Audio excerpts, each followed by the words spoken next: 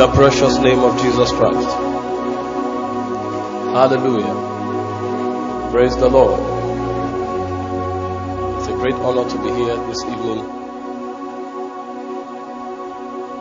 I believe that it's a strategic time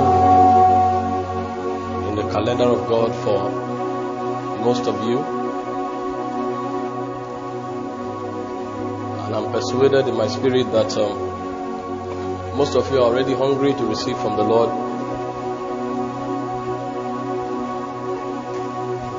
Tonight, we'll just explain a few things and then we'll spend time to pray. When I come back tomorrow, I'll do a teaching.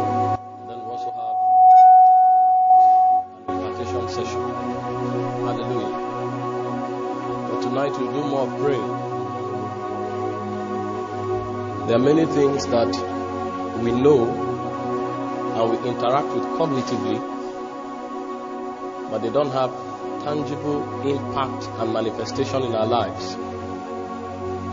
And it becomes a crisis for the believer. He knows so much, he says so much, but there are no results in his life. And when the spirits come to check you out, they are not so impressed with what you know.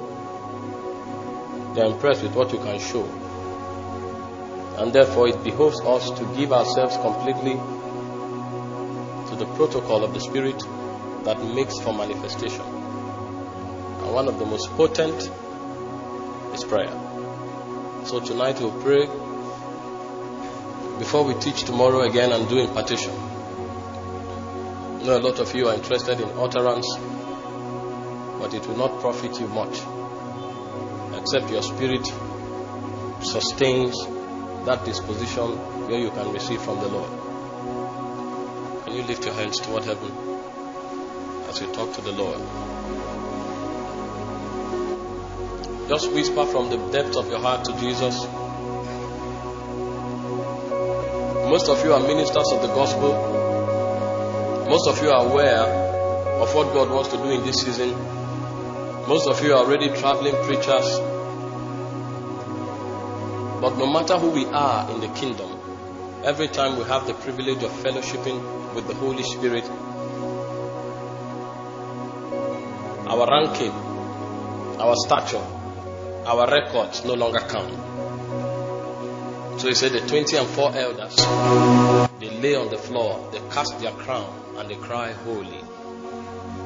Because when we come before the monarch of Zion, our ranking no longer counts. It is the disposition of worship we can sustain that determines the most we can make from that environment. So talk to the Lord from your heart. It's good to have expectations. It's very important to have expectations. But beyond expectations, your attitude in the presence is more important. You may be full of expectation, but your attitude in the presence may be wrong. And if your attitude in the presence is wrong, your expectations will count for nothing. Can you display the attitude of worship and cause your spirit man to ascend and receive from the Lord? Expectations are important, but they are not as important as attitude in the present. What drives us to the presence of God is the passion for Him. But it's important what we do when we get into the presence so that His reality can be communicated, His essence can be communicated, His life can be communicated, His power can be communicated. I want to tell you something what you know before you came here doesn't count unless you didn't come to interface with the presence of God. He said they go from strength to strength. Every one of them in Zion that appear before the Lord. So when you appear before the Lord, what you wear before you came is no longer important.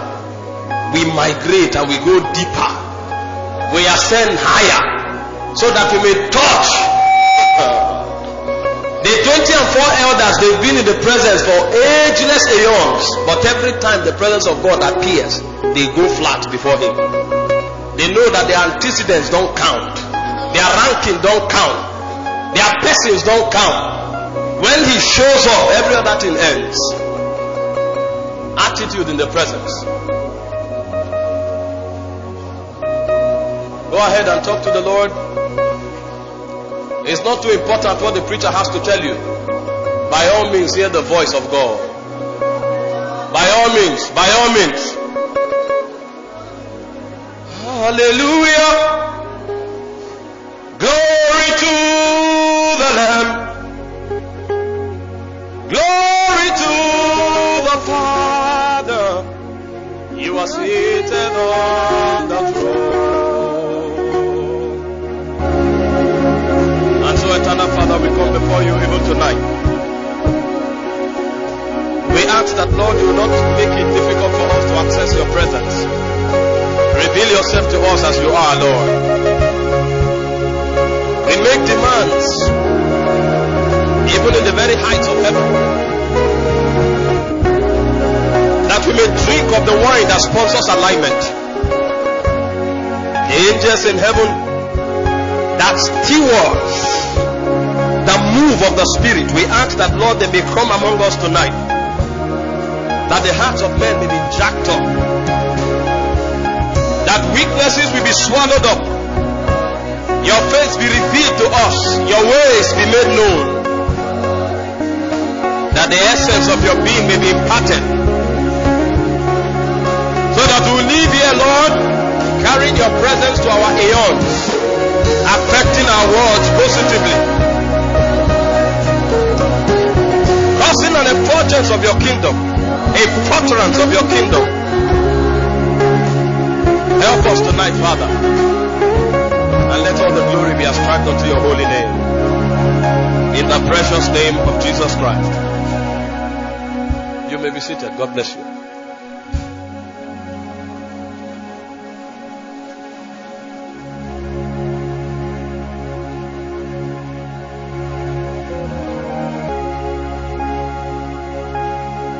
Tonight I want to share with us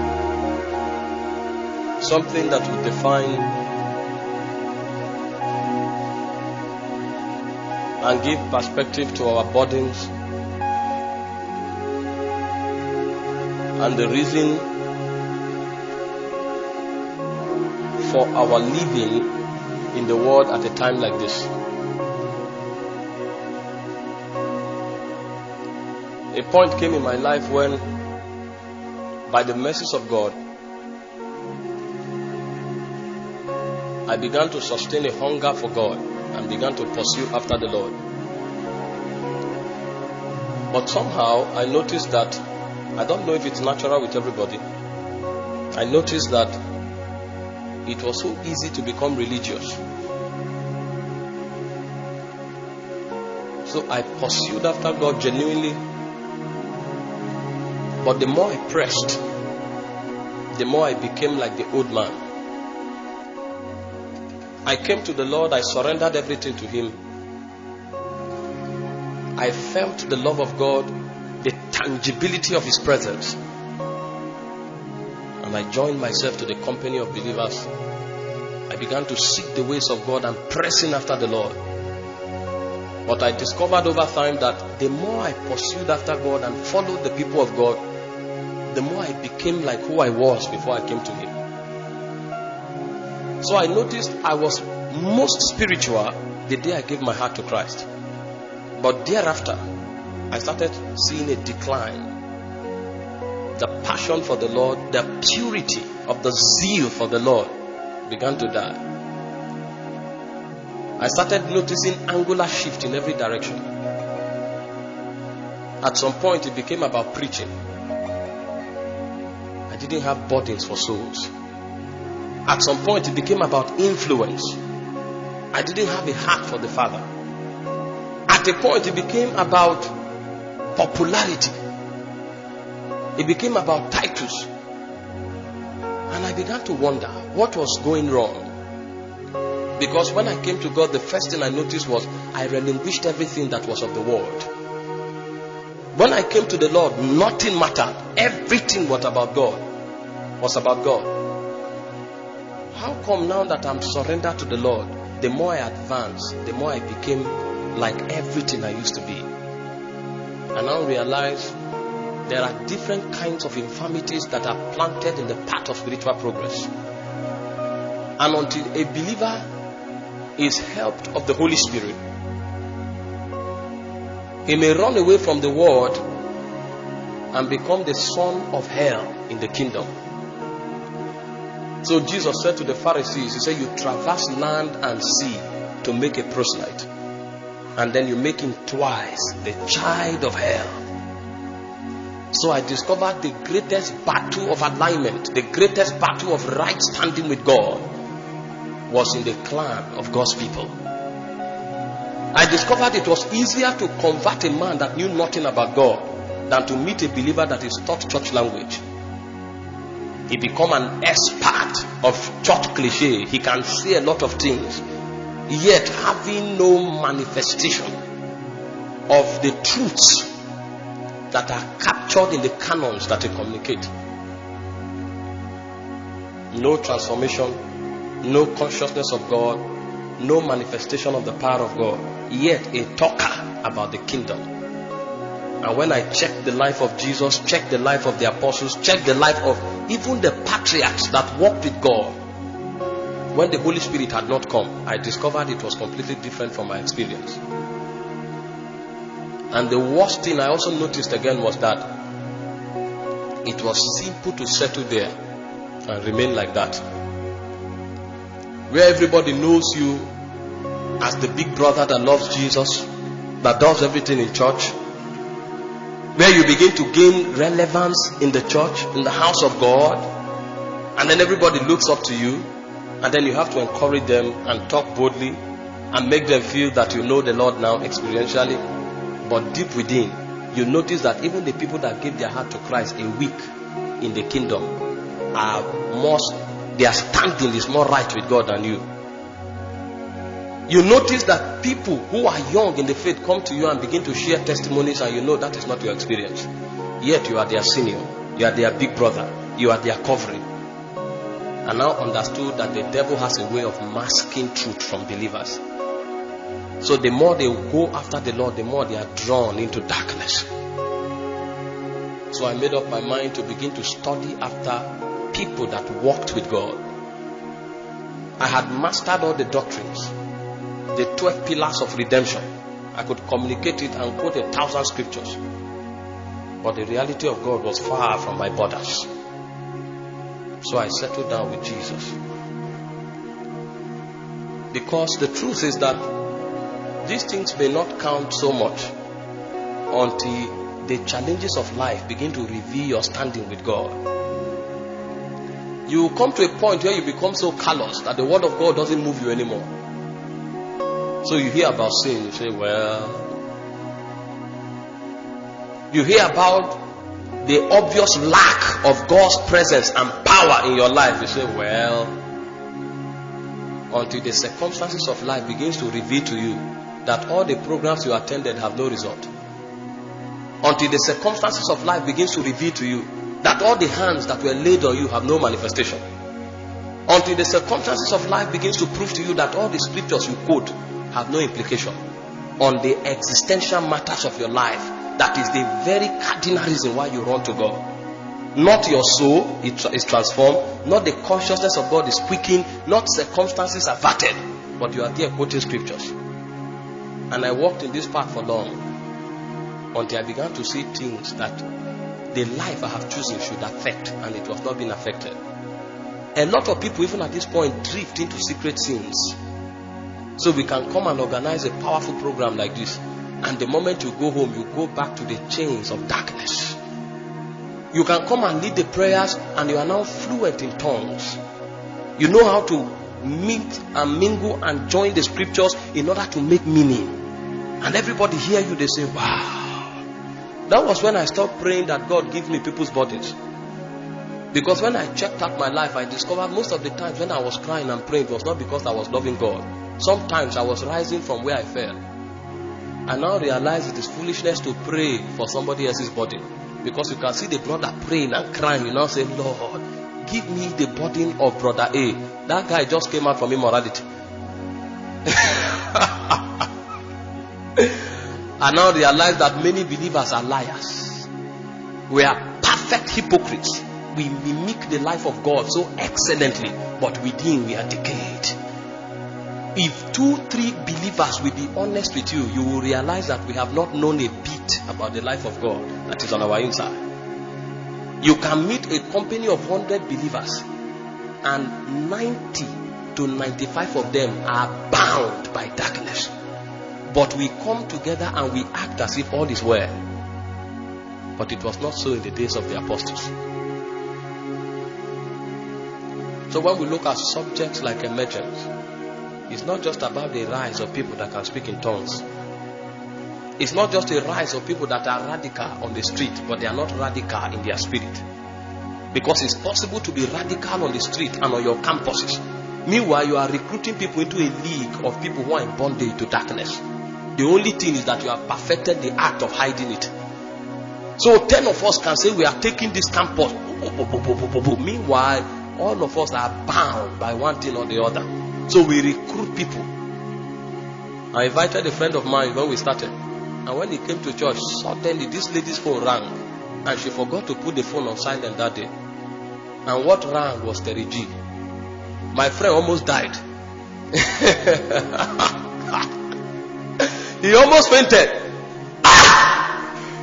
The sister who was one of the uh, phone rang, the next thing was Terry G. So everybody's phone is passworded with patterns that you will need to study engineering for five years before you are able to unlock. See, that was when tongues. I I realized that there's a difference in speaking in tongues and speaking with tongues. you will never see their phones unlocked. Nobody touches their phone. Even if you hold their phone for five minutes, they are uncomfortable. What, what are you checking? What are you checking? That ah! Glory to the Father.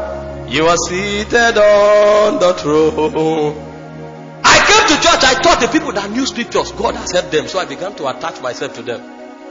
When I came close to their life, I discovered they were stinking. I now knew that, oh, oh, oh, oh, oh, quoting scripture is not the cure. You know this thing that you come and you see the brother who is always, they say they want to do this, the brother stands up. Very coordinated. And then they have a way of standing. Holy, you know, there's a way holy men behave. holy men of old, they spake as they were moved by the Spirit of God. so holy men walk, when they come to church, hmm, but when they pick their phone and they go to the corner to talk, oh boy, what did they happen? Don't worry, they come now. Now we go through that. Holy men have a dual personality. There's a way they live in church, but you can't come close to them in their houses. No wonder it became difficult for them to make friends. When they come to church, you think it's because of the burden of God in their heart. So you see them. Because if you come around their life, you will see different dimension of Hades emitting with so much energy out of their spirit. That was when I discovered again that there were many psychological stones that they were using in church to cover cases of immorality. I realized that pastors that succeeded were very good psychologists. So if you are not an expert psychologist, for example, you can't manage the choir. The choir is for psychologists. If you can't manage, if you hear the things that happen, you go and cry. If you are not careful, you lose your faith. I now realized that this thing is a game of spirits. Men are only invited to participate in their game. So if your tonguing does not bring you to a point of fraternity with the Holy Spirit, what you are doing is kindergarten. Go and relax. I now realize that tongue in itself is useless except it is able to bring you into the womb of life and the essence of the Holy Spirit becomes an effulgence of your manifestation. I realized that scriptures were not meant to educate.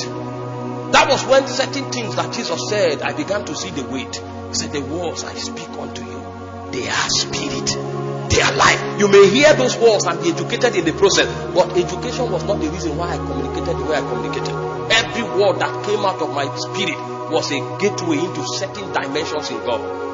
So when Jesus talked righteousness, it was because he wanted you to walk through that pathway and begin to experience righteousness as your lifestyle. Righteousness for him was not a strategy of doctrinal education. Righteousness for him was a gate that will deliver you from the stronghold of iniquity. I now realize how to interact with prayer and with the word of God beyond the things we were taught. So for many years I stopped praying. And up to today, anytime I notice there is an angular shift in my soul, I leave the altar. Because I realize the altar where we represent God from, it is the hottest spot where the devil uses to enslave people. The altar. The first time I met Apostle Arome outside, I was like, what, waiting these people they talk. Wait, what are they saying? I heard him the first day, I just admired the way he spoke. But when I go, got home, I couldn't sleep. I didn't remember he quoted any scripture and said John chapter this. I didn't remember anyone. But when I went home, I couldn't sleep. I now realize that there are men that have mingled with reality until they communicate life and spirit. They don't talk to your head, they talk to your heart. So when Peter spoke, he didn't remember what he said, but they only said, Men and brethren, what shall we do to be saved? Go and check that scripture. He didn't mention salvation. How did they know that he was talking about salvation? How did they realize that they were in darkness when the man just gave them a narrative of the life of Jesus? Energy became more important to me than intelligence. Paul said in 1 Thessalonians 2 8, he said, For that we have loved you, we are affectionately desirous of you. We did not only communicate the gospel to you, but the substance of our soul. And I knew what Peter meant when he said, Our judgment will be stricter, we that are preachers of the gospel. I saw the reason why I went for certain programs and I came home with lust. I saw the reason why I listened to some messages instead of hunger in my spirit. I went outside and every lady I saw, I wanted to look at her two times. I realized that the gospel is not an educational infrastructure. The gospel is a communication of life and spirit. And there are certain things that men must do to themselves to sustain the capacity to communicate life. I saw why Jesus never called us preachers, He never called us saints, He never called us believers, He called us witnesses. A whole lot of things began to make sense to me. And that was when I died to cliches. I died to excitement. So I can come for a meeting, everybody's jumping. Hey, hey, I'll just sit down and be watching. This thing that this preacher did, why did he do it? I now began to see flesh in most of the things we do on the altar. I discovered more than 70% of the things we do are not inspired by the Holy Spirit. I now knew the meaning of what Jesus meant when Peter will speak in one minute. He said, Flesh and blood have not revealed this to you. And in another minute, he said, Get thee behind me, Satan. I saw that trafficking was possible. A man can be ministering under the anointing and is communicating to you possibilities from Hades at the same time as educating you about God. I knew what the Bible meant when he said, Guard your heart with all diligence. Saw why many people who were passionate about God became weaker and weaker. So I began to discern the reason why I was going backward when I was pursuing after God. I said this to tell you that big meetings will not change you. Big men of God that you meet will not change you. It is the everyday decision you make to commit yourself to the infrastructure that God Himself has put in place that will change your life. That was when I took up fasting as a lifestyle. That was when I took up prayer as a lifestyle. That was when I studied the Word of God for myself. I listened to so many men, I could score their messages. I attended many meetings. I went to meetings where people stood up from wheelchairs and were strolling as if they were newborn babes. I went to meetings where people stood up from wheelchairs, their legs were bent. The man of God came and held the bent bone and straightened it. But we left those meetings only to talk about those meetings. Nothing happened in our spirit man. I now saw that the way, the reason those men became what they became was what they did with God, not the meetings they attended.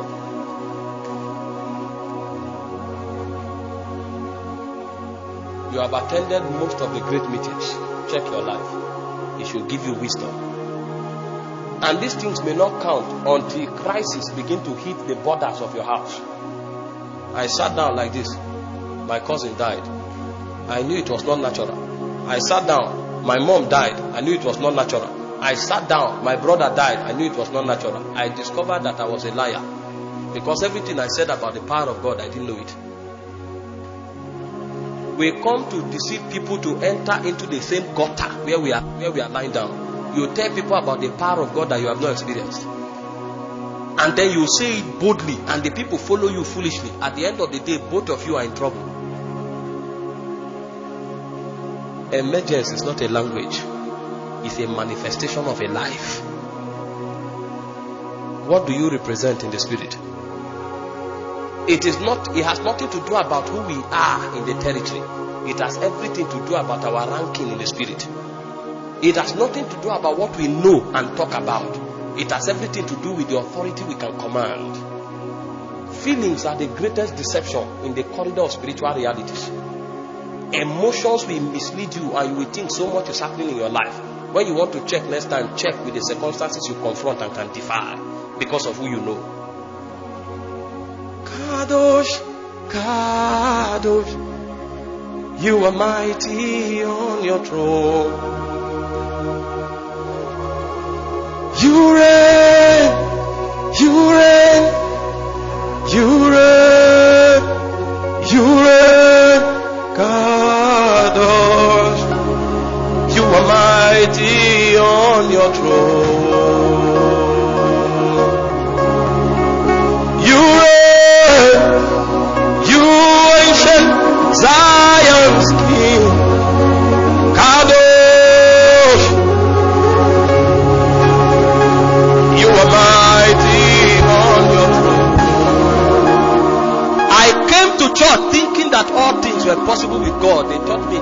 Some things are not possible. I came to church thinking that when I came to God, sin will become a thing of the past. They taught me in church that we need to live with sin and manage it from time to time. Everything I believed from outside, when I came to church, they defied all of them. I used to be afraid of God when I was a sinner. I came to church and reverence died. When I was in the world, I will sin and I will be afraid. But I became a believer. I came into the church. And when I sinned, I knew how to comport myself and act as if all is well. They taught me forgiveness. They didn't teach me judgment. They taught me justification. They didn't teach me sanctification. They taught me forgiveness. They didn't teach me holiness. They taught me fin- the finished works of Christ, but they didn't teach me the responsibility of the new believer. I began to float like a balloon without a reference. They taught me that the laws were abolished. They never taught me the law of life that is in Christ Jesus. So we came to church and we came for meetings only for excitements. We came to see big men and to celebrate them. We didn't know that we were the project in the hand of God. The reason the apostle is there, the reason the prophet is there, so that you can become who you are in God. Rather, we looked upon these men, celebrated them, and we were far from everything God planned us to be. That was when I knew that the system was failing. And until a man enters into the womb of life for himself, he has deceived himself. You are so excited because you are under 30. Let me assure you, most of the meetings you go for, you shout and cry. When you are 50 years, it won't move you again. You will go for those meetings, they will say what they are. Have you not noticed that family men, married men and women don't hardly fall under the anointing? In these same meetings we go. it's because you are under 30. Wait until you are 50 years old. You will notice you have wasted your life. No proof.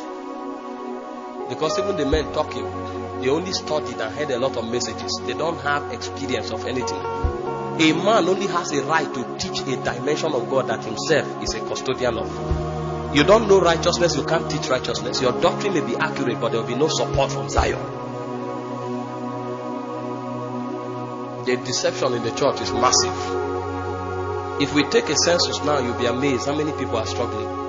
They have attended all the big meetings. I travel around this country on a weekly basis. I meet many youths. There are meetings we come for, you can't talk.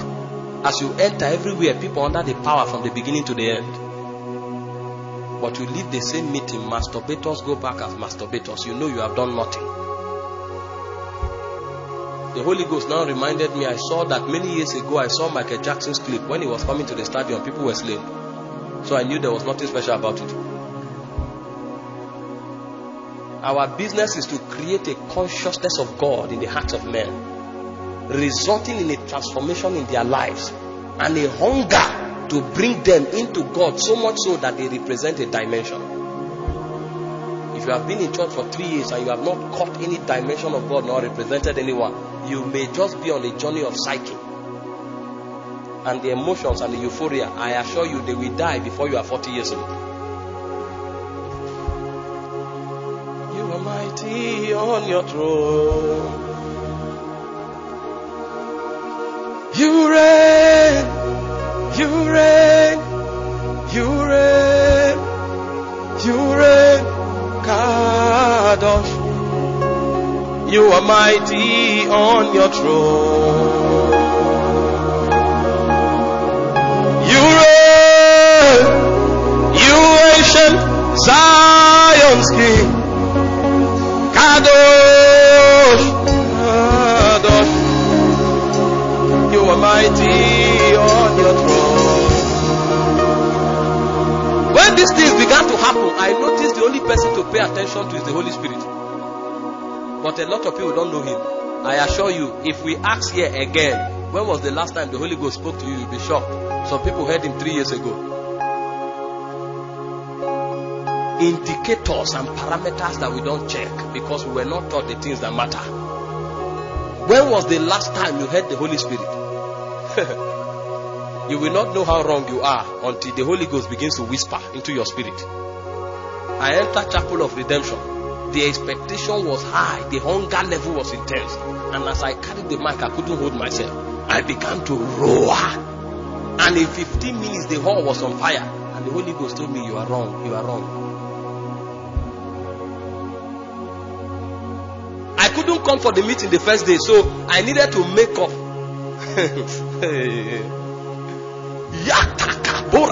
the utterance was like a rod of fire.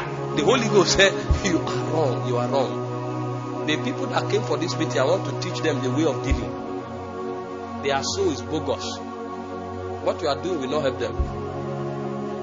It pained me, but I shut down.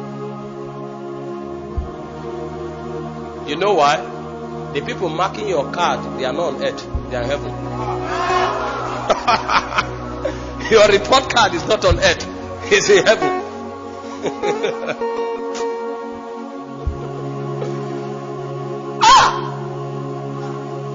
for one meeting. See, you don't know the way. See, there are certain things I want to share. What I'm doing now, I'm just testing the waters to know the depth I should enter into.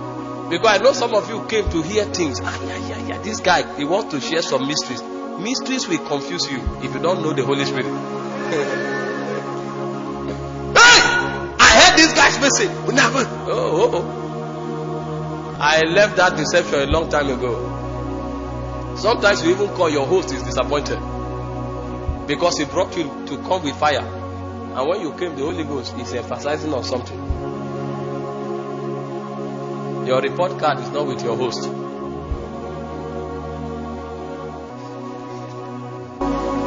When I saw all of the crises that believers faced, I now discovered there must be something about the life of God that we have not discovered.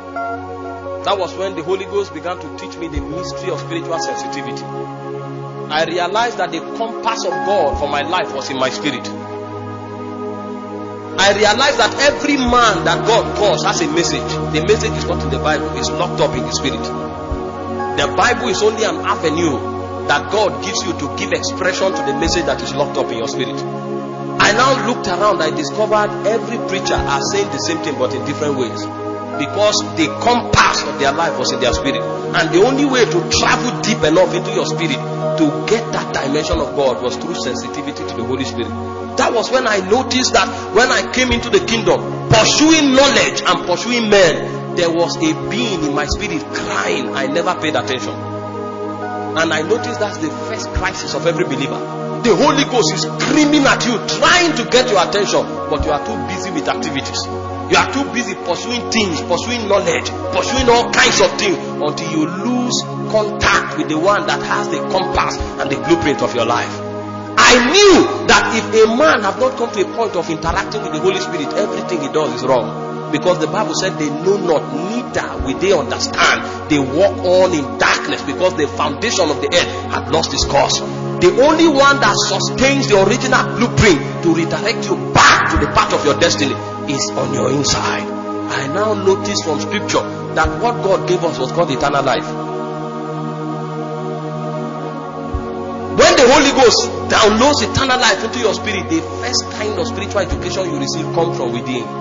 But most times, religion makes us choke that life on the inside, and then we try to make up for it from the outside. And now notice that is the root of many crises that people had. So I went back to the Holy Spirit. And that was when the Holy Ghost began to teach me the pathway of the emerging of sons in the kingdom. The Holy Ghost began to educate me how that in this kingdom, depths, relationship are in depths. And anything you can command in this kingdom is a direct proponent of the depth of relationship you have. And I saw how related with the disciples. Men who came to him and knew nothing.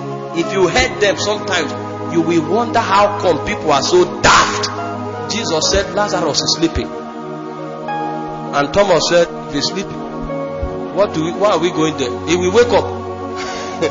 Jesus said, okay, Lazarus is dead. They now say, let's go and die with him. So if somebody dies, you die with him. So I saw that these guys were daft. So they, they didn't have any advantage that we don't have. In fact, some of them were more daft than we are. But there was something Jesus introduced them to that made them become champions in their generation. I saw also that as they walked with Jesus, there was a gradual transformation, beginning from consciousness to transformation and then to manifestation. How did they walk through this channel until they became exactly like him. Until a point came when they came to arrest Jesus, they could not find out which is him. All of them had become replicas. Which one is Jesus? Judas had to give them a sign by kissing Jesus. Because if you came among them, you would not know which is Jesus, which is Thomas, which is Peter. What happened to these guys that were obviously bereft of spiritual intelligence? that in a short period of time they could become so much like the master. I knew there was an intrinsic protocol that we were not taught. And the more we look on people, the more we look on things and pursue after things, we will never enter into the fullness of our ordination. The moment we become like him, then our life become expression of different dimensions of his reality. And then God now drew me to the heavens and I checked and discovered that even the angelic ranking was in that pattern. Every angel is a representation of different dimensions of God. So I knew that mankind and creation in its totality was given the privilege of life to express different dimensions of God. So if we are accurate every time we gather, if you see the corporate clan, then you see Jesus rise in our midst. The reason we cannot be is because we don't pay attention to that intrinsic dimension of God that flows from our inside. That was when, the, for the first time, the Holy Ghost taught me that life in the spirit begins with bodies. Nobody told me about it. Life begins with bodies. I'll say, ah, so all those little, little nudges that I have that I choke and put aside is what will actually take me into destiny. I was pursuing scriptures. I could quote. Sometimes I sat down and closed my eyes and I'm reciting chapters in my mind. But bodies come. I didn't notice that that was the gateway to spiritual possibilities. I didn't know that every time I prayed, every time I studied the Word of God, what He went to do was to energize bodies in my spirit. I didn't know it was a language. And this is one of the crises of many people. Most of us here, we are aborters of spiritual bodies. You go for the crusade, you thought it was about the manifestation of power. Meanwhile, when you left that crusade, there was a hunger in your spirit and then you come home, you choke it after three days, and you are looking forward to the next meeting. So we store posters or programs in our phone, but we don't know that those programs, as numerous and as beautiful as they are, cannot take us from one level in the spirit to another. What we take from that program in form of burdens and hunger is the deposit of God in our spirit to quicken us to enter into possibilities. Most of us are bought those burdens. And it's so pathetic the things that we waste burdens on. Some of us is movies. And I now knew why the herbalist doesn't live with men. He goes to live in the bush. Because he knows that the greatest enemy of his spiritual progress is distraction, not sin. Most of us, the reason we, we knew that we know the love of God now so much is because we committed sins that we know we are not qualified. So when we look at the past, we say, no. If this thing is about, if this thing is about qualification, there's no way we will even sit in the company of the brethren. We messed up. See, there was a time I told God that if I sin again, kill me. I, knew the mortals would just look at me and say, this boy lack understanding. Oh, kill you. Even this one we are talking now, you should die. Sometimes I say, God, if I want to think evil again, strike me with headache. Trying to achieve spiritual realities by carnal means. Oh, the Lord. Oh, Z without knowledge. Say, Lord, if I want to think, strike me with headache. Headache. You know how many headache you have in a day? You will die. until I understood that this thing is a protocol of life. And bodies, I began to manage them. Manage. I guided them jealously. Because there is no emergence in the life of any man until he gains mastery in stewarding bodies. The angel came to, in Judges chapter 13, to the wife of Manoah. He said, Israel had sinned and God left them in the hands of the Philistines for 40 years. God came to engender a new unveiling of salvation for them through Samson. But the woman that was pregnant, the angel began to give her instruction. He said, Take no wine, take no strong drink, and don't touch anything that is defiled. So the hope of Israel was not in the hand of God anymore. It was in her ability to steward that which was conceived in her spirit. She is still an Israelite. She is the chosen one. So the light of ordination was upon her. But the access point into reality was what? Take no wine, drink no strong thing, touch nothing that is defiled. There is no hope for Israel the day she touches a wine. So that woman can come for their gathering. And then that day they say, everybody go home with one bucket of wine. She will cry and go home. She will not touch it. Somebody may come and say, from this week to the next week, anything you want to drink is on me. Even though she feels like drinking because she's now pregnant, she is sentenced to life of taste forever. She managed that body until the thing became a child. The reason most of us can never become anything God, we know all the doctrine, we know all the scriptures, but we don't manage body. We are wasters of bodies. There was a time when the Holy Ghost came and put a burden of prayer in my spirit for three months. I knew I should pray. I said, What shall we do next week? I will come to my friend and say, hmm, Next week, next week, next week is 10 hours. 10 hours. Then we use that now and this, we choke this week. What we have done is that we have already wasted this week. So we channel all the energy to next week. And when next week comes, on Sunday we go to church and we come back in the evening say, on Monday, we'll say, no, we'll start in the morning and then we'll go and take a car. Oh, okay, maybe we should start midweek to another midweek. And then before we know, another next week.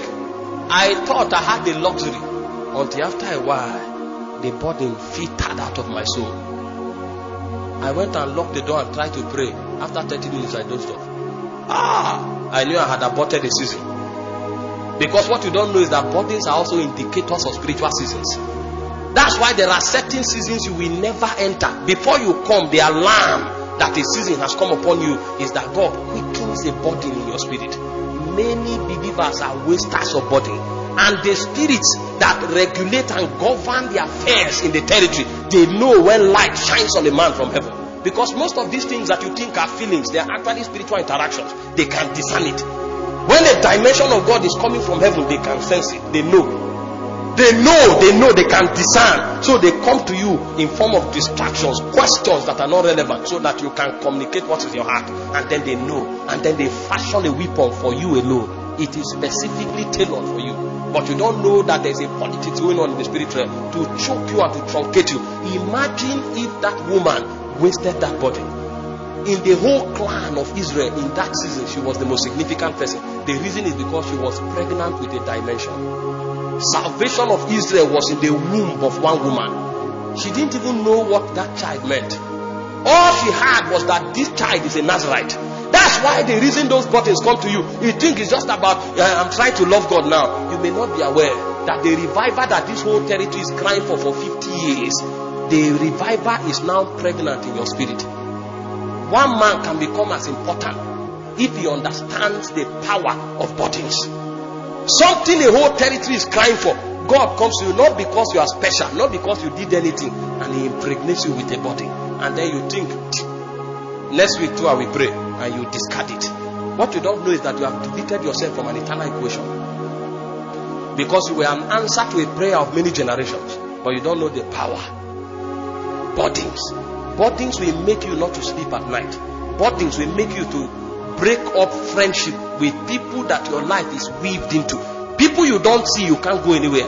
But you have understood that for you to be relevant in a generation, the indicator that you are captured in eternal ordination is the kind of burden that comes to you. And let me tell you, these things are in depth. There are certain burdens that come to you for one day, some for three days, some for three weeks, some will dwell with you for one year. Because the gestation period of burdens is a statement of the scope of that which God wants to do. But many believers are not aware. This is why, as a believer, sometimes the worst thing that happened to you is not sin. Sometimes the worst thing that happened to you is distraction. The devil knows if you sin, you will go back to one year fasting and prayer to repent, and he will not get you again for sometimes for the whole of your life. But he can distract you consistently for one year, and you will not think it's anything until the very valve of your soul is weakened. You can't even press into God anymore because you don't understand that these things are a function of demonic intelligence. They know the kind of person you are. Your conscience is potent. If they strike you with sin, they will not see you again. So they distract. Some people have been distracted for five years. They can stand up from here and go to Makurdi for three days program. If they go for when God successfully impregnates them with a body, as they are coming back that week, everything dissipates. It becomes a story of the things that happened in the meeting. It's a shame for a believer to talk about things that happen in meetings when it's supposed to be a manifestation of those things. When we go to the height of Zion, we come as the manifestation of the possibilities that are in Zion.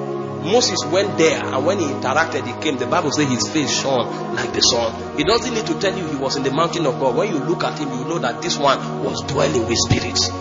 His walls become deeper than the walls of men his attitude becomes deeper than everything humankind can say. So when you look at him, you know that this one was sitting with spirits. But we, we are talkers about things, we are not manifestors.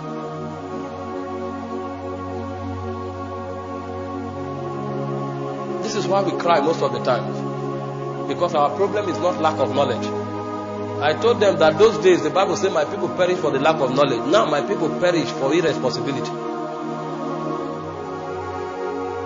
Have you seen people that will come to you and say, God told them they will be prophets? My friend came to me and said, God told him he's the apostle Paul of this generation.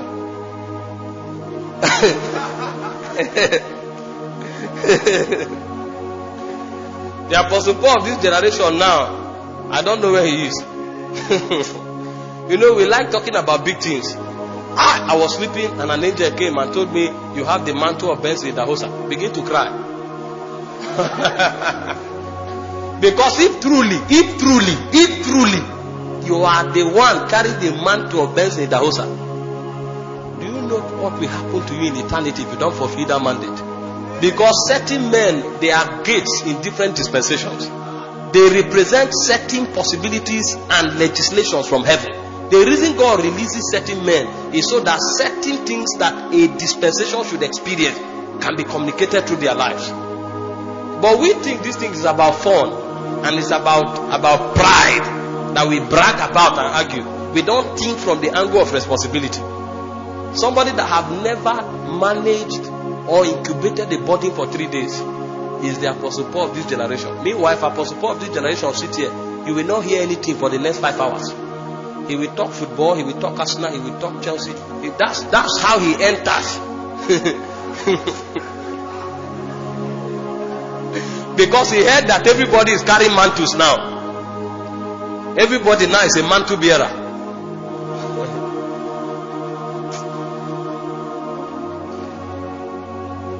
I tried many things. I discovered they don't work. So I came back to seek God.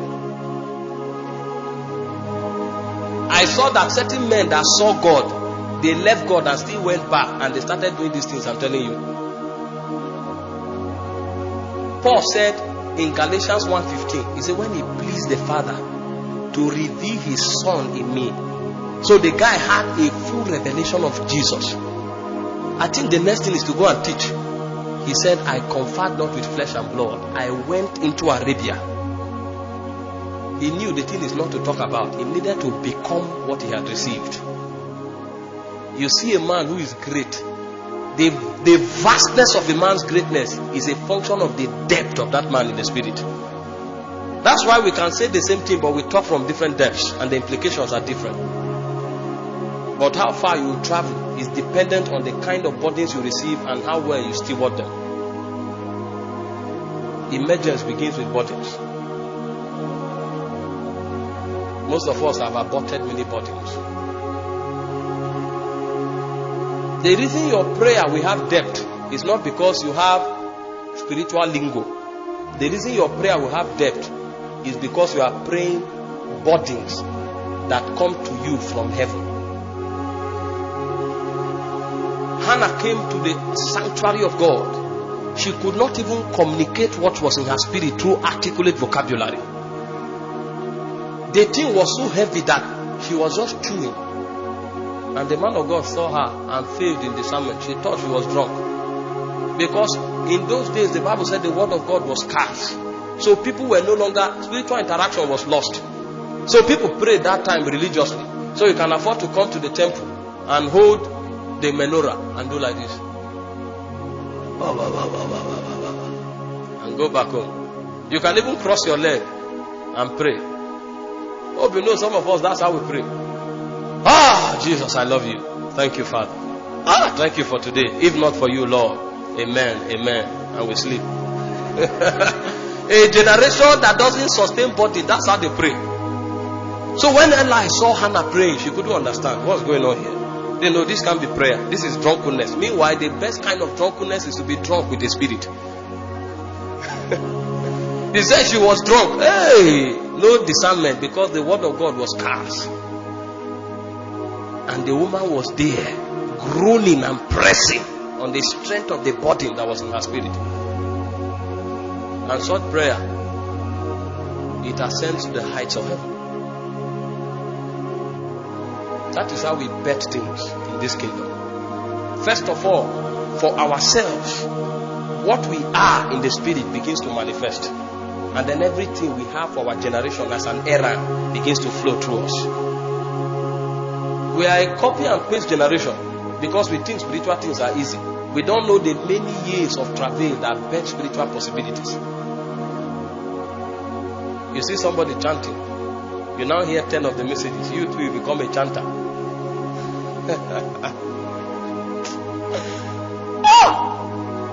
if God wants to show you mercy, you will learn a lot of things in a short while. Head Apostle Arome, all his prayers were territorial. Shutting the gates, opening the heavens, accessing portals. I went for a meeting when the power of God was moving. Me too, I began to shut the gates. and when I when I shutted the gate, that was I didn't know that those gates had watchers. so Hey, see, there are certain scriptures that I carry every day of my life because they are the reason I'm still standing. The Bible said in Lamentation, in Lamentation chapter 3, verse 22, he said, It is for thy mercy that we are not consumed, your compassion failing not. If you don't know those scriptures, you are in trouble. I entered the territory. When the power of God began to move, first my steps changed. I began to move like a colossus. Even your tongue becomes deep. My tongue became deep.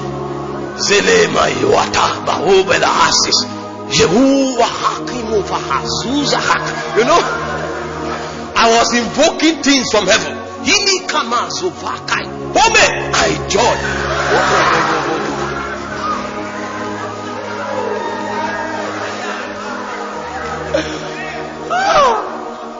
I didn't know that the man traveled in different parts in the spirit until he found his trumpet. I wanted to blow his trumpet.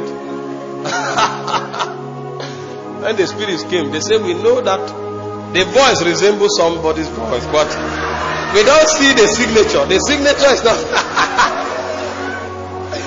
we, we, we can't access, we don't seem to get the signature. Yes, it sounds alike, but which signature? I don't, we can't find authorization. That was, that was when I also realized again that spirits don't interact with cognitive language, they interact with energy. You know, when Jesus came to a place, you thought it was just by faith, say, be healed. The Bible will say, virtue flowed out of him. It is faith and virtue that produce manifestation. Faith is the opener, virtue is the actual substance. See, that's why we pray a lot. Oh. Because, my brother, I had a lot of faith. I went to cripples in the public. I say, if I do it in the public, then God will honor my faith. I didn't know God was not moved, whether it's public or private. I wanted to bind territorial spirits, so they came out. So when they showed up, there was no backing from Zion, and I was light like paper. After I ran all the rat race, I came back. And when I heard these men now, I hear them differently. I will score Bishop Oyedepo's messages. You needed to see me when I came for a healing service. I can quote 50 healing scriptures. Sometimes you can't even talk. The scriptures are too, are too many. When I started struggling and I went back, then I heard that he said one day he was on the mountain praying. And an angel touched his tongue and said, Today I have touched your tongue with a coal of fire. As you say it, you will see it happen.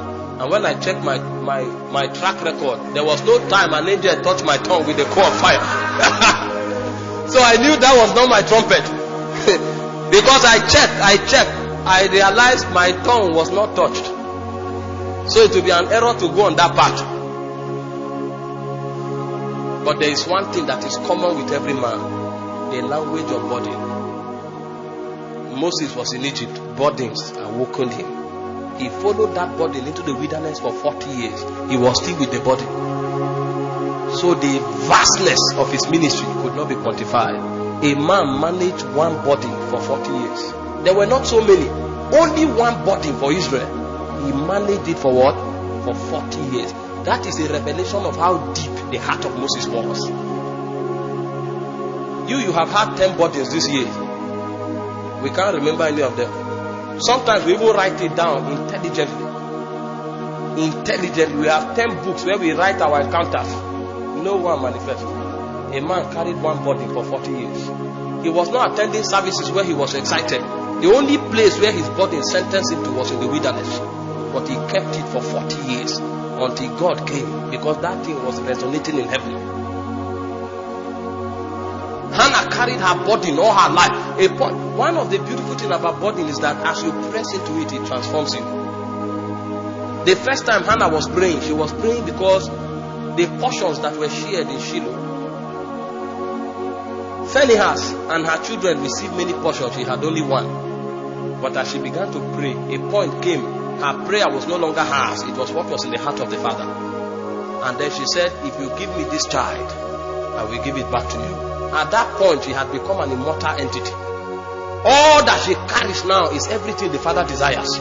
So her life became a gate that heaven could access through to reach the earth realm. Did you see the prayer she prayed afterwards when she gave birth? Even Eli didn't have that depth.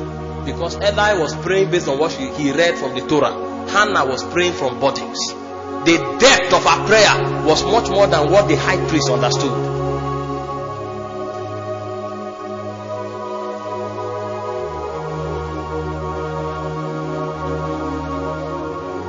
I came to ask you this evening what are the burdens you have aborted?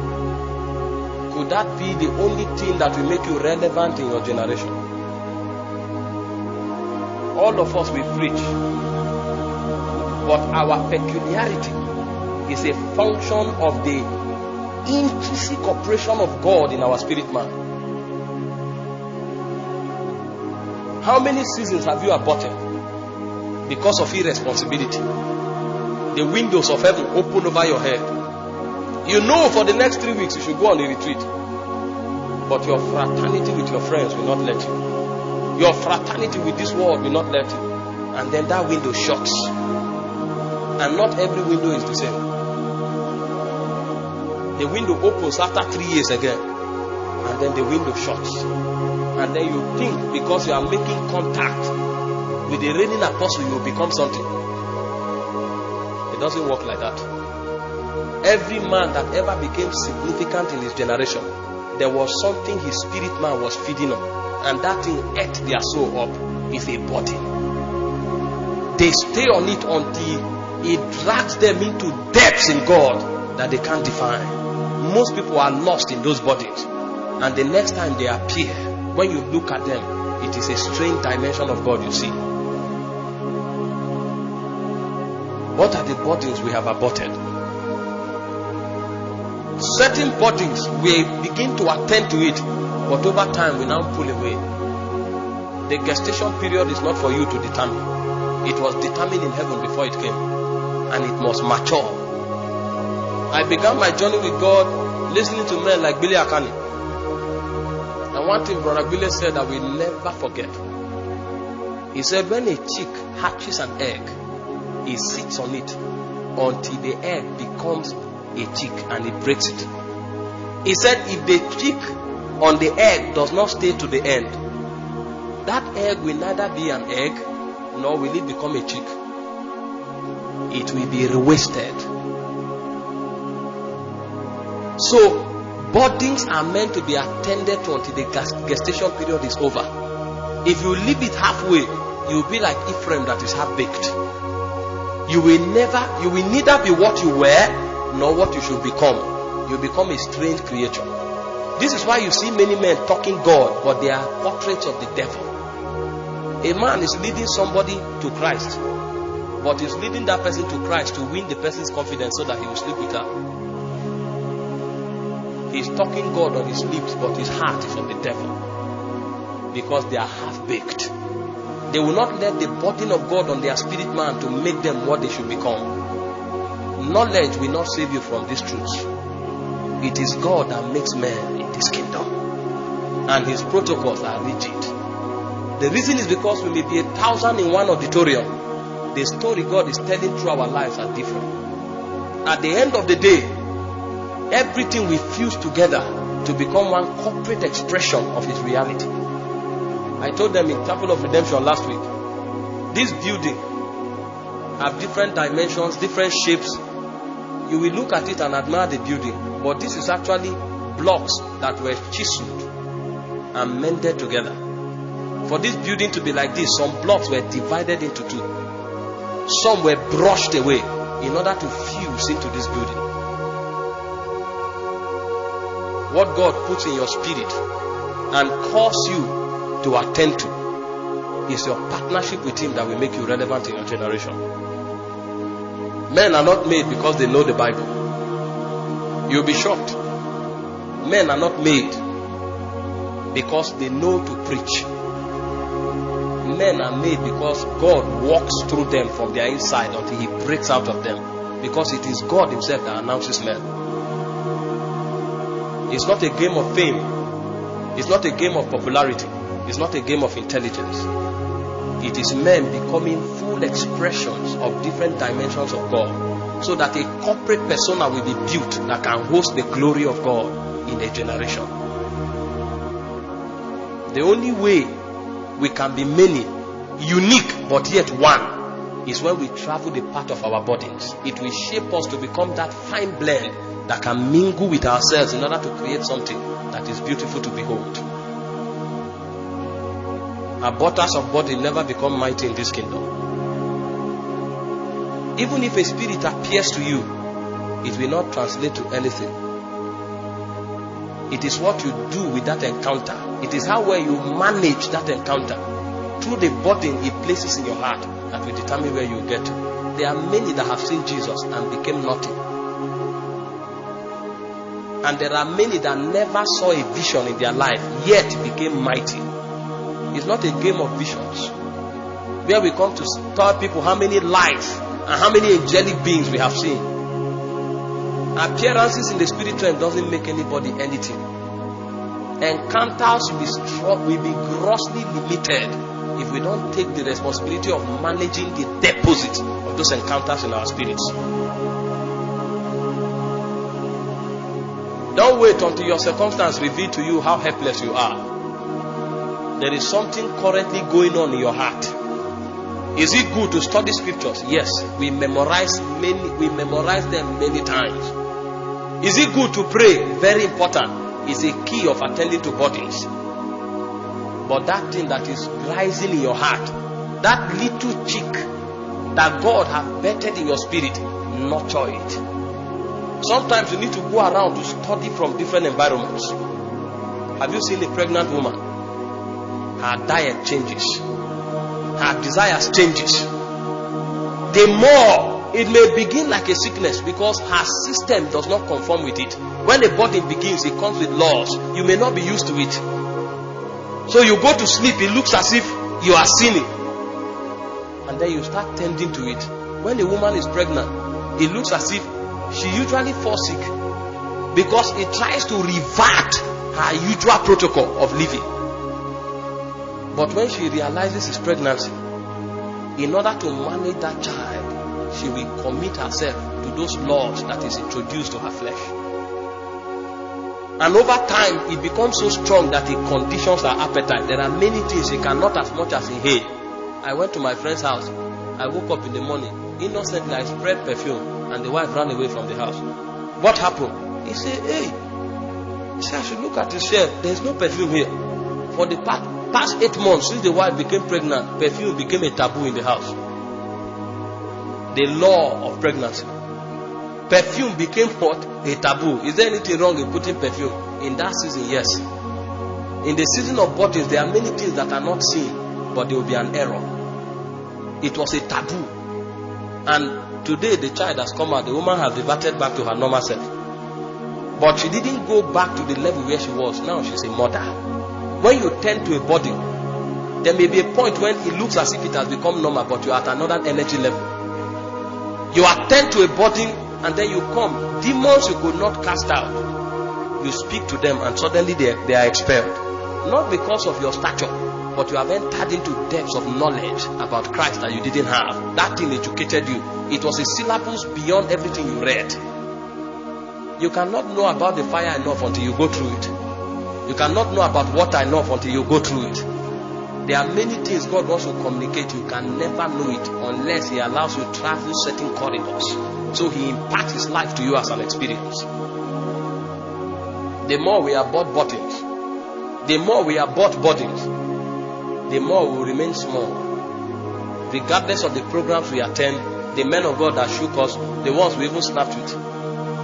Those days when I was in Christ Embassy, we went for a cell leaders conference and I smuggled my way I wanted to touch Reverend Chris by all means then, it was impossible. I smuggled my way to Reverend Tom, it was impossible. So I reached out to Pastor Ambrose Isesele. They are members of the Central Executive Council.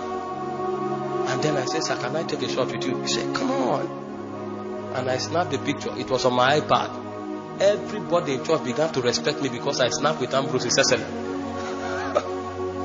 He didn't change anything about my life. Even when Reverend Chris himself eventually ministered to me, he changed nothing. So I now realize that even impartations themselves will translate to nothing unless we create and nurture the atmosphere of bodies that will become the ground where they germinate. There are many things God puts in your life.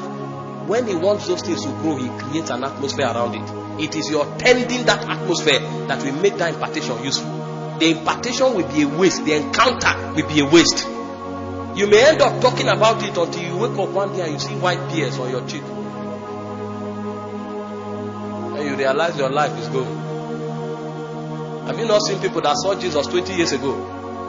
And all their message was when the angel came into their bedroom and was glowing with light. Now they are 20 years, they can't go anywhere. Their soul can no longer even ascend to access God because everything God put in them has been choked. Aborting a body may not be a sin, but I tell you the truth, it's worse than sin. You will be in the kingdom, but you will never become everything God wants you to be. Your ordination is tied to it. The reason a lot of people relapse and go back into the world was because they failed to manage organic realities. These things cry for expression in our spirit, but we negate them. They want to sentence us to different kinds of lifestyle, we negate them. Men become strong when they know how to manage these matters. A point will come when certain lifestyle become your natural cruise mode. You don't struggle with it, it's natural. Because these bodies have educated you differently. You see a man who attends to maybe a season of his life where God places a law of prayer. And then he kept praying every day for 10 hours. And he manages that body for six months. Even when that atmosphere lifts, it becomes natural for him to pray for three hours. He has ascended. The things he will command and download from his spirit, you will long for it, you will not see it. It's time to quit copy and paste. And this public show and stage management, there are realities we can handle, but it begins from inside. Pastor Chris taught us those days, he said the life is a is a transcendent life. It flows from within out and it flows beyond your generation. But it begins here.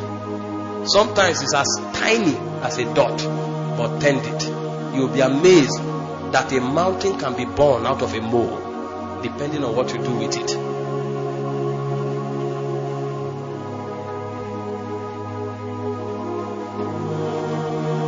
I'm just trying to introduce, and time is gone.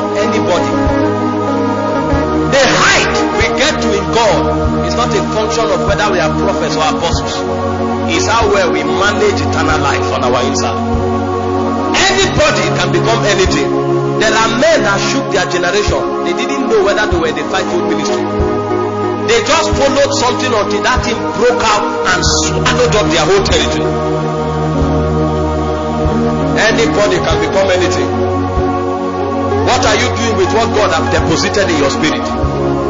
The devil will try everything to corrupt it, but fight to preserve it. I know most of us are preachers. We like knowledge, but knowledge itself can become a curse when all we pursue is knowledge. We come for meeting, we want to hear utterance, the patterns of the heavens.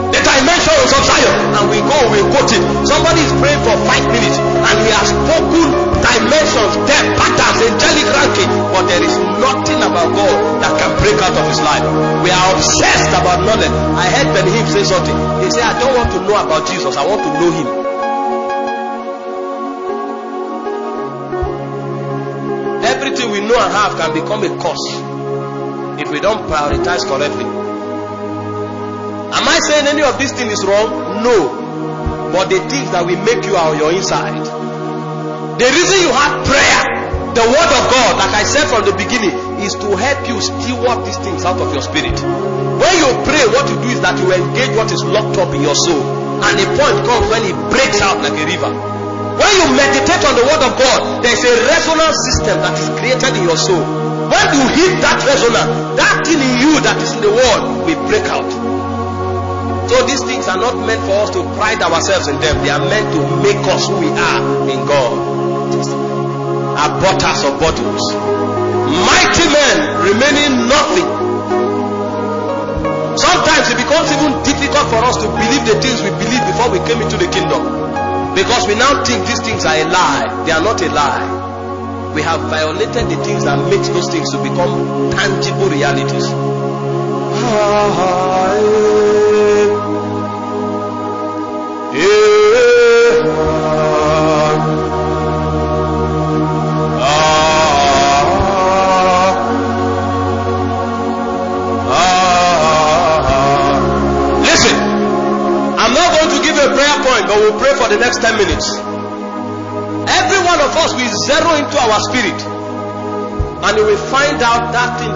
have troubled you with for the last three months. I tell you the truth, if we took a census now, you'll be shocked that more than 90% of us have been irresponsible to those bodies. Some of us are sweeping the church. It's very beautiful. You will not be made from that. I'm telling you the truth. I've done it. I've washed toilets in this kingdom. It has its place. But there are many people that wash toilets, they became nothing. They can only they can teach you, tell you if you do this thing, you become great. That is not the only ingredient. I have washed toilets in churches too. I have decorated church, I have cleaned chairs. Seen people that do the same thing amounted to nothing. I saw people that carry blocks on their head when they were building a church. Today they are no longer in church. That alone is not enough. What do you do? The Holy Ghost. When you do all of these things, you serve in the kingdom, you study the word, you pray. What the Holy Ghost does, if you notice, is that those bodies begin to become louder, louder, because those things are the compass of your destiny. Don't know what yours is, but we want to zero into our spirit this evening. Because it will come for nothing if I come here and wow you. Stir the place up and bring another impartation. You have had many of them. Have you not noticed sometimes the reason revival breaks is because people tarry for long in prayer? They pray to a point comes when they zero into their spirit and they begin to interact with eternal realities and it breaks out like a river. Find out what is it that is the burden in your heart and begin to attend to it by prayer. In the next 10 minutes, Jesus said, I have many things to tell you, but you can't bear it. It will not profit you so much. At best, I come, I speak, and you say, Oh, this man has utterance. Oh my God, what has God done to this man? Somebody called me last night and said, Man of God, who are you? I said, I'm a believer. Are you, man of God? Are you a spirit? I said, I am a believer. Forget all of those nonsense. Find your place in Zion. Press into God. Forget everybody. The Holy Ghost knows what He has impregnated you with. What is that thing that God has locked up in the chambers of your spirit? It's time to give expression to it.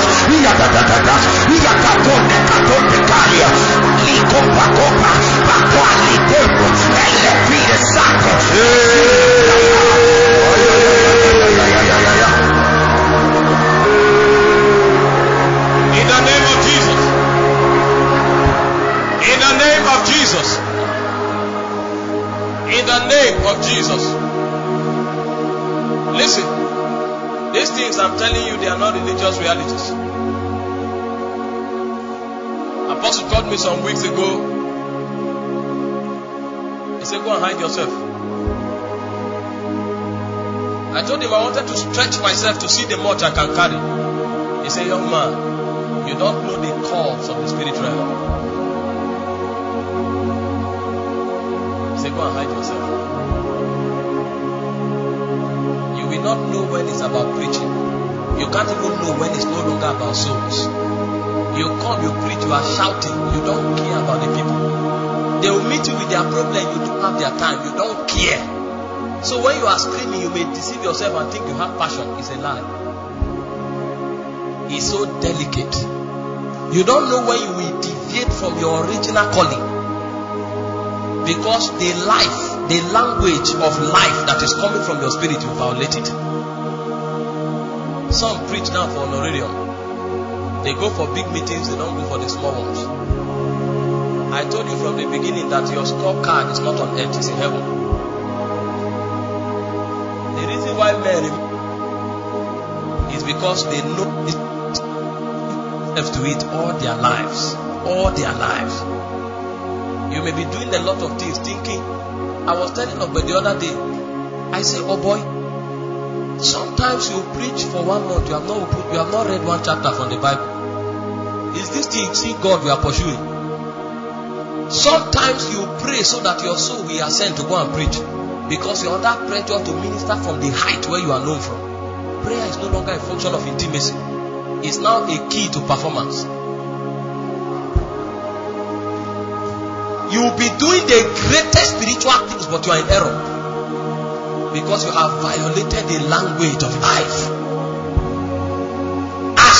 As as prayer is, prayer now becomes a key for performance. Because anytime you pray, that's when you can minister with power and your soul can be ascended. How many of you here have searched the scriptures in recent time because you wanted to know God? Most preachers now read the Bible because they want to preach. I'm telling you what I know. This eternal. The men that are relevant with God, even in their old age, they do things. There is an area of their life that is most rigid. It doesn't change for anything. They can have 100 engagement in three weeks. If it will affect this one, they will cancel all. The reason most men are scarce is not because have invitation. They understand the intelligence of a shift. If you shift, they are gone. You'll be doing the same thing you are doing, but heaven, your ranking will drop. Because these are the things that define us. And if we find men who can do these things, then truly a new species of people is rising in the landscape. You may be deceived with your oratorial power. Every time you stand, you have something to say. You can even understand the psychology of believers in your generation. You know what to say to stir them. But at the end of the day, you have no message from heaven. These things, they are non negotiable. I don't know what God have told you. I only came to sound an alarm in Zion. So that you will go back to what God told you that many of you it has even become rusty. It doesn't even mean anything to you anymore. The first time you had the encounter, it was as if your life depends on it. But now it's like, oh boy, it is now rusty. You can't even feel the energy from it anymore. Go back to it. And let's pray for the next 10 minutes. This is a ground of revival. There are certain dimensions that have broken out from this ground. Thank God, one of the people that powered it is here with us. There is so much in God that we have not seen because we have become religious. What will make you relevant is that language in your spirit. You can follow the biggest men. If you don't find it, it will be nothing. What has God told you? What is the burden in your heart? It's time to attend to it. Can you go ahead and pray the Holy Ghost?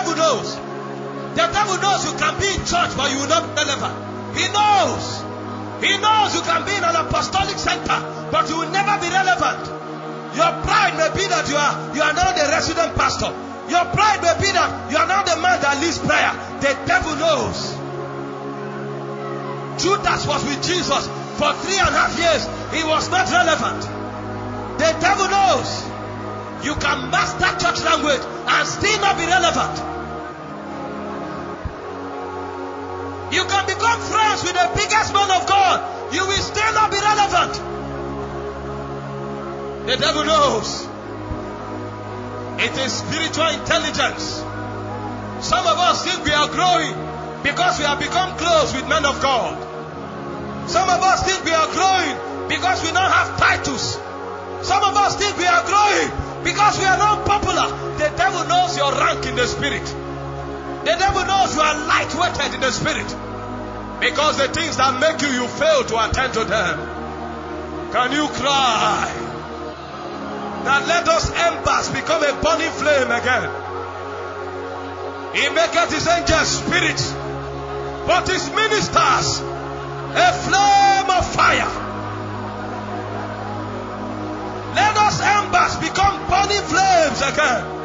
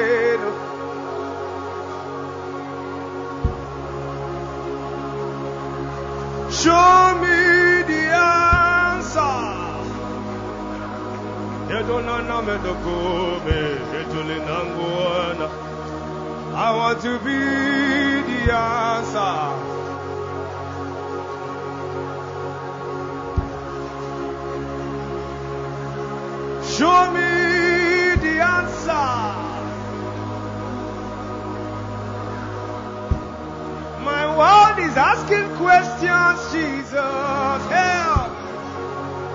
Help, help, help, help, help, help, help. Open my eyes. I want to see. Show me the answer to the questions of my generation.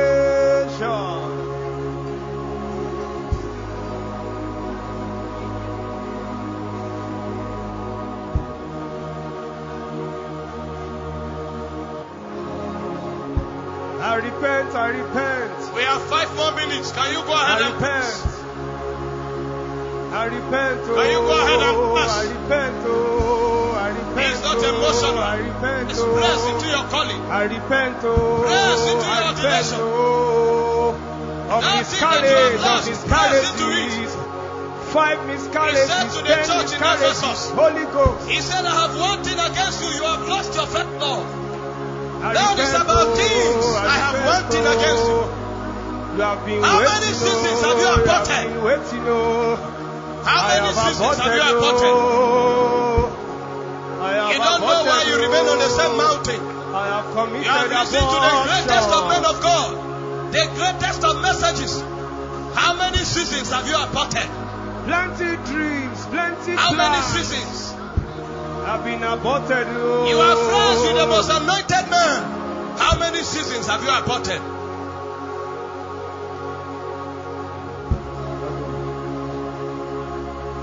Had many emotional things that made you jump, that made you scream, that made you laugh. But how many seasons have you aborted? Why men are doing what they are doing, heaven is doing its own. You discern it in your spirit.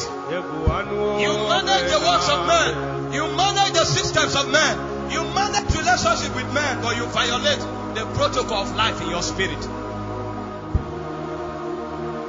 All the plans and programs I have aborted.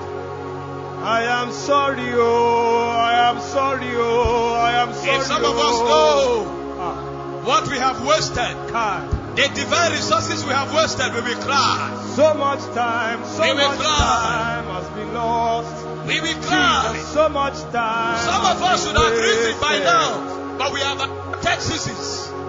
We shouldn't be attending meetings. We should be going for meetings, but we have aborted seasons. Because Moses could not rise. Israel was in captivity for extra 30 years. wasted. Many died. Many suffer. Jesus, Your lack of rising is the reason why many people will die. sorry. Why many families will be I in bondage. You take it for granted because you think it's about you alone. How many seasons have you wasted? How many seasons have you wasted? Could it be that you are the Elijah of your generation? Could it be that you are the Deborah of your generation? Could it just be that you are the Apostle Paul of your generation? Can God open your eyes to see that what gives you relevance are not the men of God you are friends with. You can pick your phone and call anybody. That's not what makes you relevant. What is your popularity in the realm of the spirit? Everybody knows you, they call you names. That's not what makes you relevant. Many impartations. But how many seasons have you aborted? How many seasons? Restore my body. And there's a channel of mercy. God. In the name of Jesus. In the name of Jesus Christ. There's an economy in God. The economy of mercy. You see, mercy is not just, it's not pity. It's not even empathy. Mercy is an economy in the spirit. There are two things mercy does. One of the things mercy does is that it causes you to enter into an accelerated possibility. So that the distance that you have lost will cover up. And it's as if nothing ever went wrong. Thus for you is that it causes your seasons to come alive quickly. So that the seasons that were lost, they resonate around you. And it looks as if nothing was ever lost. Can we lift our voices now and cry for mercy? Most of us have lost many seasons, I tell you. Most of us have wasted encounters. Remember, remember, We have you are a wasted encounters. God. You are a merciful We have God. lost You are a seasons. Have mercy on your daughter, on your son. Oh. Another opportunity, Jesus.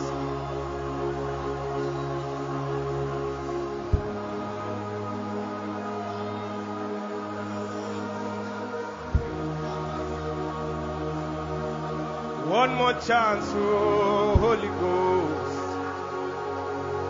Let us carry it to the ninth month.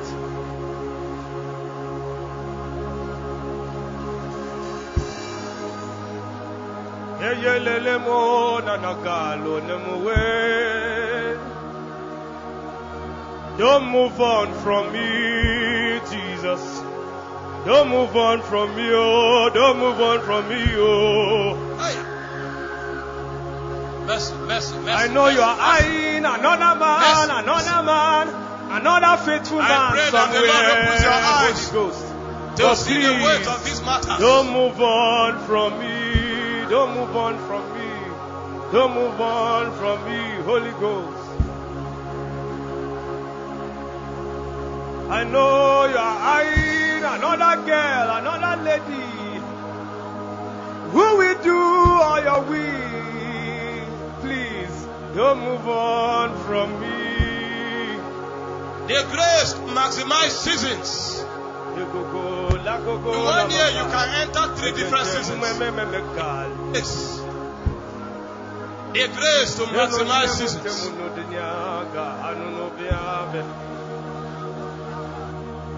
I will do better now.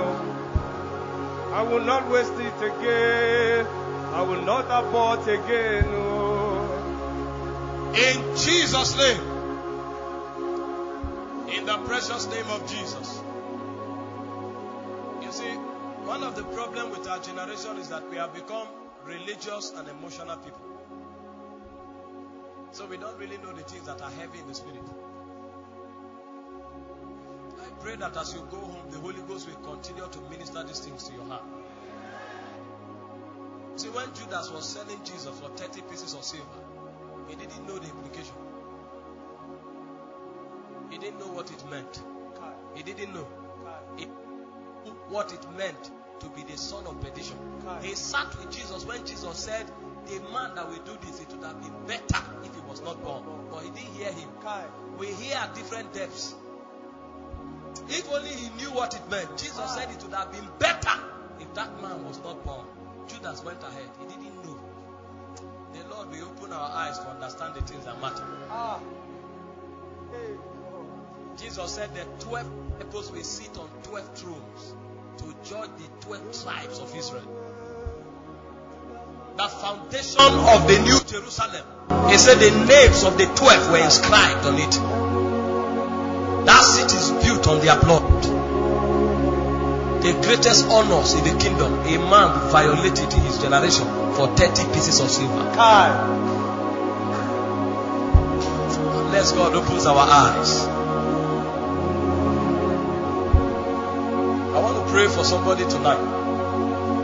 There are certain seasons you will lose, you will never get it again. Jesus said concerning Jerusalem in Luke 1944, He said there will be gnashing of teeth, no stone will be left unturned. He said, Because thou knowest not the times of thy visitation.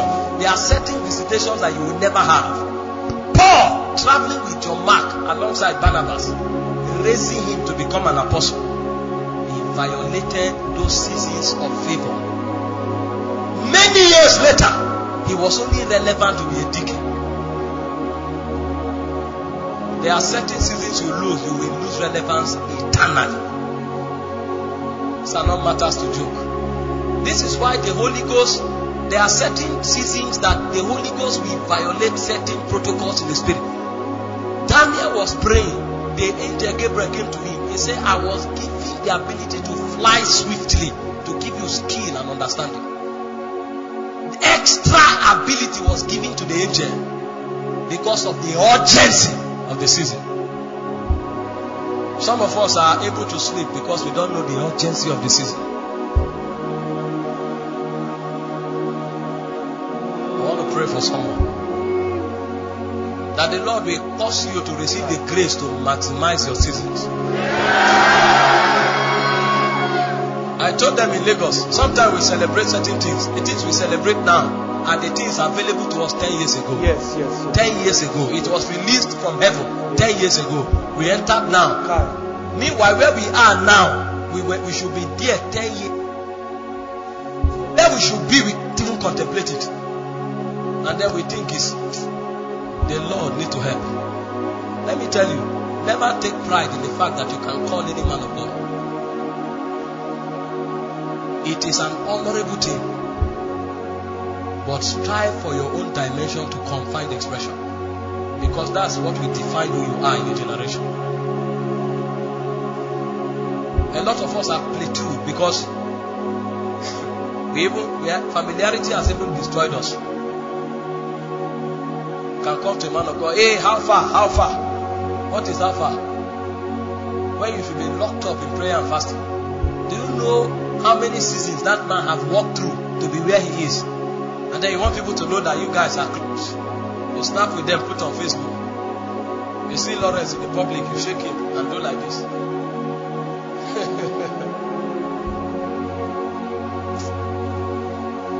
Apostle will shake us. He will say, Bro, how far? Say, Bro. Which one is bro? Daddy.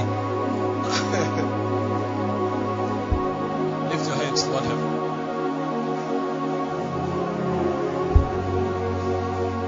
Let me tell you, we don't qualify what we are doing. We don't qualify for what we are doing. It's a function of mercy. And that mercy can be available to anybody. I keep telling people nobody is special. It is the God on our inside that is special. Our commitment to Him is what makes us become like Him. It is not a glorious thing that they are hearing of one person everywhere. It's a shame to the church. Yes, yes, yes, yes. The labor is too much. There are no voices. And then one person rises, he's happy. Hey, oh boy, it's a pity. But the problem is that the men that should rise, they have not any responsibility for their lives. They are satisfied going for meetings, snapping pictures with people. Men in this season. God is raising men in this season. I want to pray for the grace to maximize the season so you don't lose out. The people you are hearing today, let me tell you something. They don't they are not even they don't even have an idea what God wants to do. It's only a privilege of ordination for us to cry to reawaken many. The men that will be the wonder of this generation, you'll be shocked that some of them are still in the beer palace.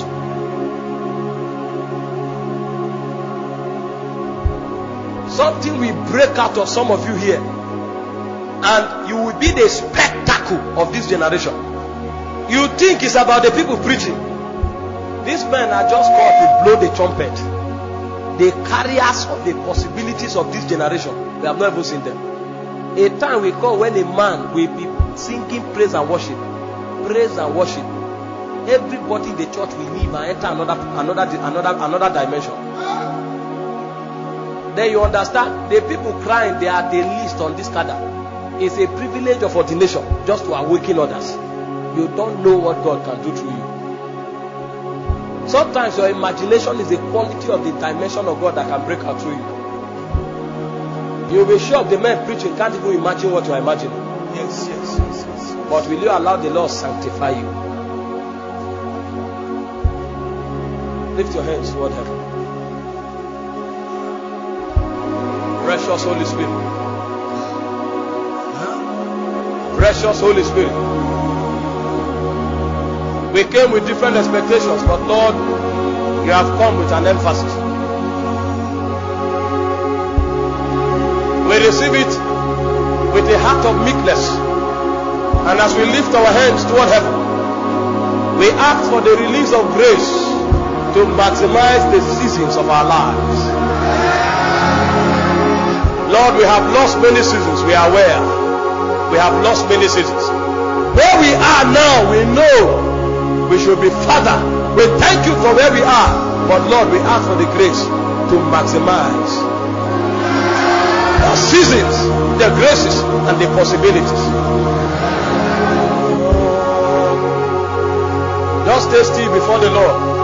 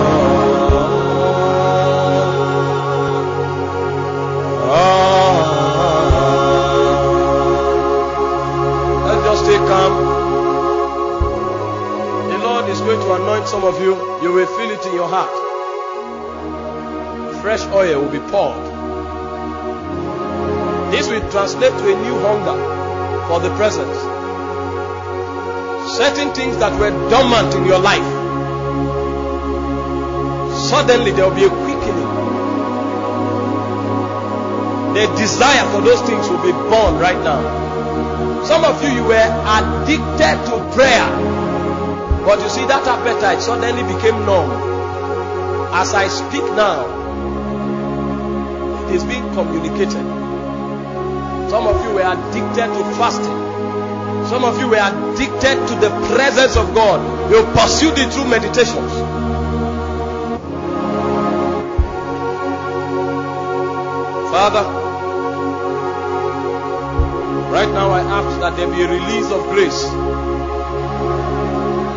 That the bodies, the bodies that were crystallized in our souls, as a statement of our first love, that your spirit will breathe upon it now. Let it become louder. Just stay calm and allow the Holy Ghost minister to you in the next two minutes.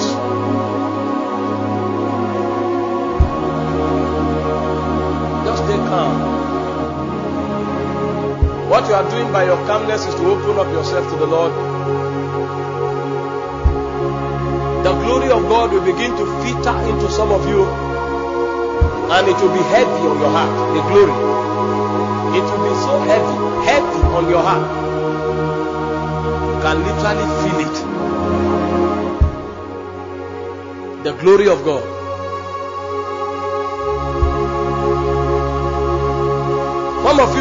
Find yourself being drawn into a quiet, a quiet dimension. As if something is sucking you into depths in God. And that will bring you into encounters. Thank you, bro. ah, ah, ah. Bro, stop the keyboard so that. Thank you. Don't want us to get loud. Just focus on God for a moment. I want you to be able to download it. Because I notice usually that when people begin to fall and scream, then most times we lose a lot of things. Just suck into God. Allow it to seep into you.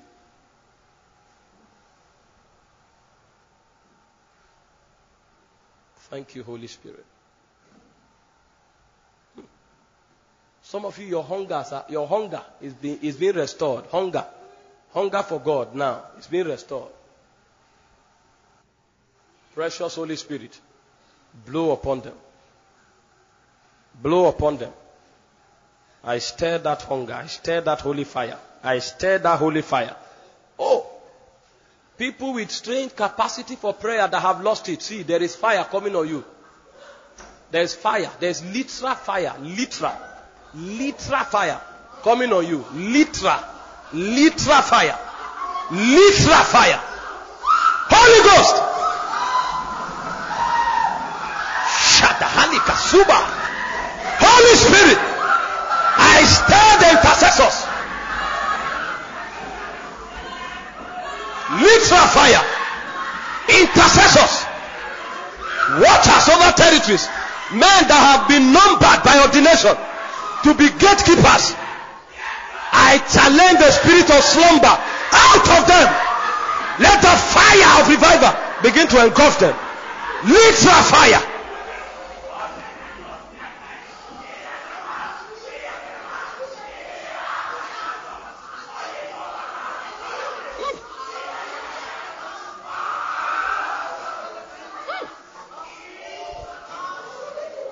There's a sound breaking from heaven upon someone. There's a sound.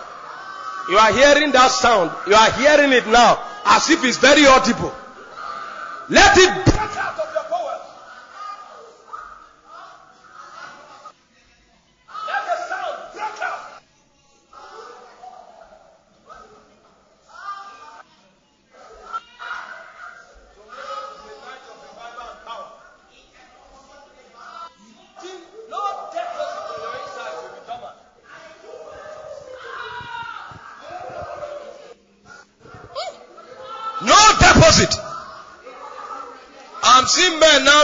connection back to the spirit realm. Men are being reconnected. Some of you as children, as children, you could sense the angels that walk with.